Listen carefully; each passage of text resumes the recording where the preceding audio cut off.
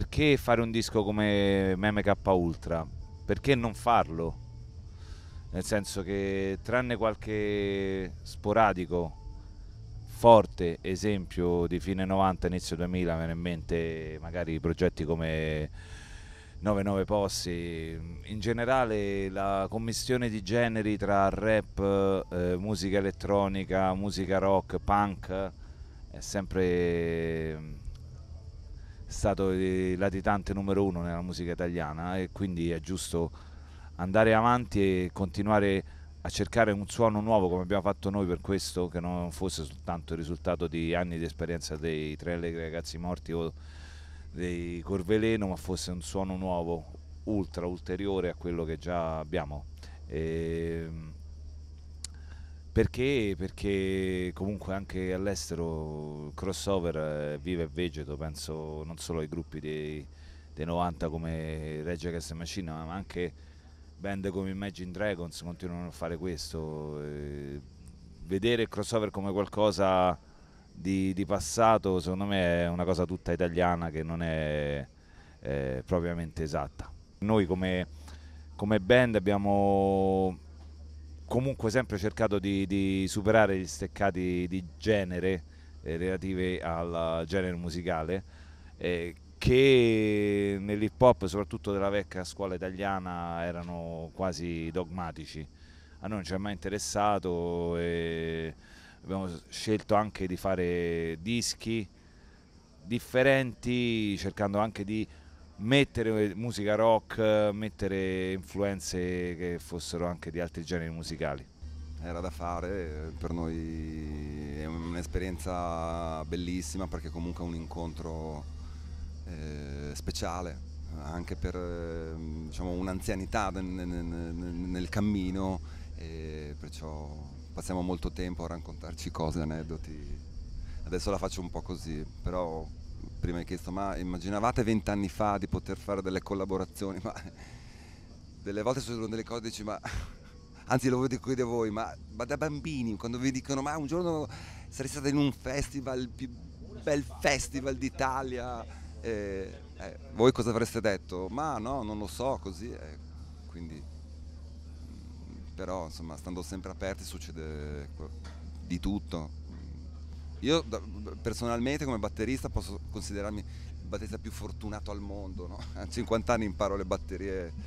hip hop, quindi studiare fa bene. Per realizzare questo disco che è stato fatto negli anni eh, anzi proprio a ridosso dell'inizio e durante la pandemia ehm, abbiamo, fatto, abbiamo adottato un metodo di lavoro che non è propriamente quello di sempre, però è stato bello anche per questo. C'era un disco che, come dicevo, abbiamo voluto fare, avremmo voluto fare sempre con una band eh, di rilievo come la loro e la distanza perché io per esempio stavo in Sud America in quel periodo ero bloccato là per mesi, poi negli Stati Uniti, ma da là è stato importante non mollare il colpo e portare avanti con tutti gli altri il disco e nella fase dei, dei provini, delle idee, del flusso creativo vero e proprio. Non abbiamo smesso un secondo, anche se devo dire che eh, lavorare in remoto o smart working come preferiamo definirlo non è il metodo più facile di tutti, però è stata una bella palestra, abbiamo visto che è possibile farlo e che non lo so, se in futuro ci sarà bisogno sappiamo che anche in quello possiamo lasciare il segno.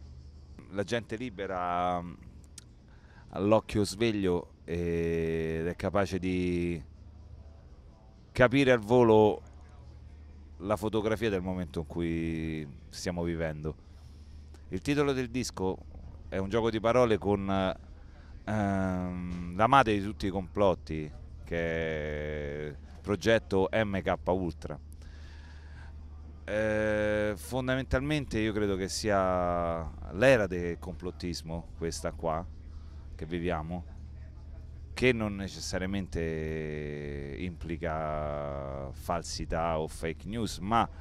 in un'epoca come questa dove dubitiamo di tutto, il vero unico grande complotto personalmente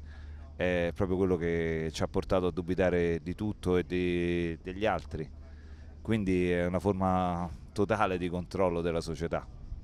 Cioè, volevo un attimino riagganciarmi a, a, così, all'argomento Covid, di come ehm, dall'inizio comunque di questo problema globale o prettamente occidentale che c'è stato col Covid, sicuramente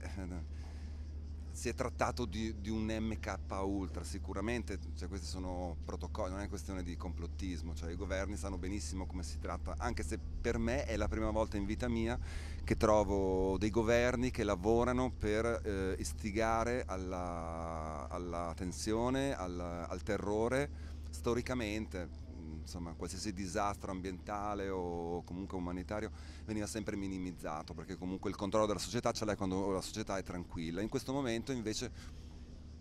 eh, vedo proprio una pura istigazione al, al terrore. Effettivamente quello che dice Giorgio, il, il più grosso complotto e direi anche tra virgolette una sconfitta per l'umanità in questo momento è proprio l'arrivare a dubitare dell'altro e rispetto a questo ho sempre amato gridare che chi non ha antenne si tenga le corna. sicuramente anche oggi, ma in modo molto più forte eh, all'inizio, la tempesta è stata cioè per noi una possibilità ehm, di poter vivere no? l'arte, qualsiasi sia l'arte no? per noi la musica eh, con un sentimento incondizionato di libertà eh, ed è quello che abbiamo eh, provato eh, ad offrire immaginandoci un collettivo no? Ehm, oggi non saprei sicuramente mh, poi uno può anche stare in una stanza dove cioè, magari ti senti libero ma sicuramente è una questione di sentimento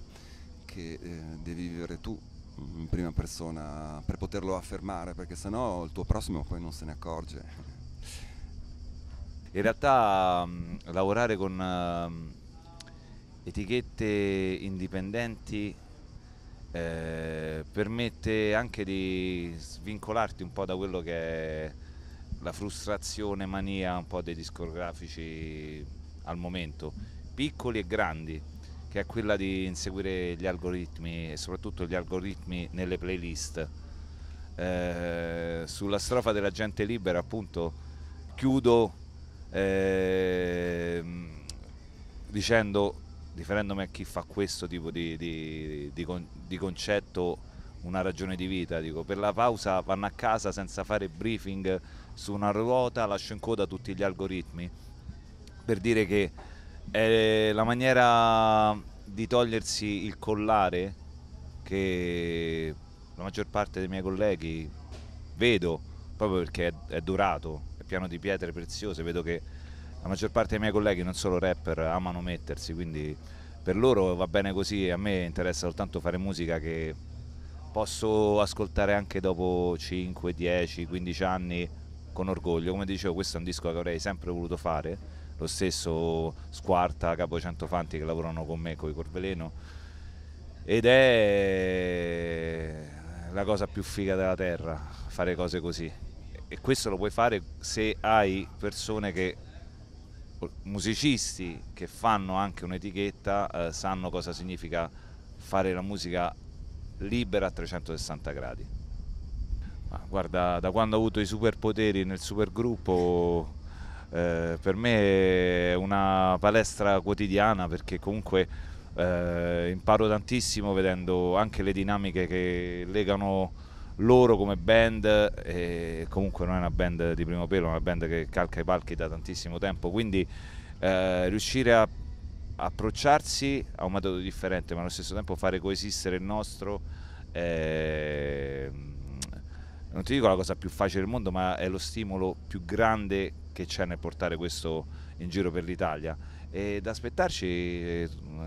l'estate eh, più figa de, degli ultimi dieci anni forse perché comunque un, un, live come questo non lo vedevo da un sacco di tempo. Non è perché lo facciamo noi. Ha la, la capacità di portare intanto tre show in uno, tre spettacoli in uno, quello del disco MMK Ultra più il repertorio rispettivo dei Tre Allegri e Corveleno con un gran finale che poi farà parte appunto della sorpresa di stasera e per me è, è magia, va bene così, cioè non chiedo di meglio. Cosa succederà questa sera non, non, si, può di, cioè non si, può mai sapere. E, ehm, sicuramente è una cosa che voi avete visto qui allo Sherwood Festival, in cui noi abbiamo l'onore di essere ospitati proprio nella serata eh, di chiusura. E, ehm, forse vi sarete accorti che in questi giorni cioè, andare ai concerti eh, sembra una cosa di un tempo, eh, almeno noi vediamo molto, molto, entusiasmo, un po' come negli anni 90, ora io non so quando siete nate, però eh, sembra di vivere il, cioè, l'entusiasmo della, della musica dal vivo, non che negli anni 2000 non ci sia stato, però in questo momento eh, probabilmente due, due, anni di covid così, cioè con delle restrizioni magari anche mentali, quando eh, in questo momento c'è un segnale molto forte, almeno da, da, parte di chi ama la musica come qualcosa che succede eh, veramente dal vivo, in diretta, ecco, ehm, perché poi si pensa no, che è, è, la band che fa il concerto e il pubblico in qualche modo eh, gode di una cosa passivamente, invece non è vero, il concerto è sempre fatto metà e metà. E questo tipo di accensione mh, mm, insomma ci fa arrivare un sacco di energia ma si vede perciò forse si dice si sente. Perciò forse non tutti i mali vengono per nuocere quindi mi bu- devo buttare dal palco mi lancio alla vecchia. Grazie a voi.